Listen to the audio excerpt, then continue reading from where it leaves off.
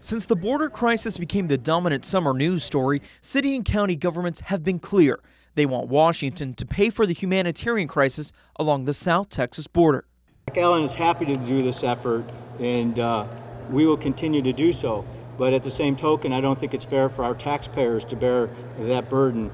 Although U.S. Senator John Cornyn and Congressman Henry Cuellar scrambled to get those funds moved to the border, Congress is leaving Washington for summer vacation without responding to what many of them continue to call a crisis. It's definitely a political battle. It's happening right now. Right now, an emergency border bill lingers, but it's doubtful it will pass. For now, city and county leaders here have vowed to continue their humanitarian efforts.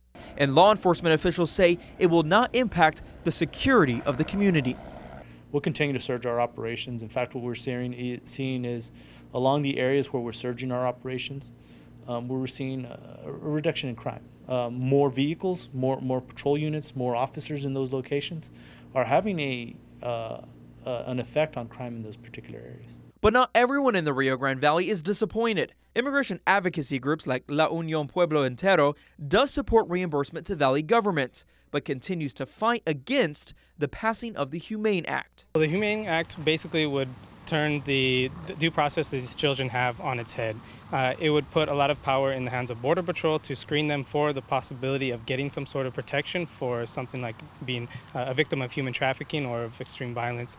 The fight isn't over, and neither side is giving up. We have to be ready for once the session comes back in uh, in a month from now to you know be ready to push back against it again. In Hidalgo County, Brett Crandall, Action 4 News.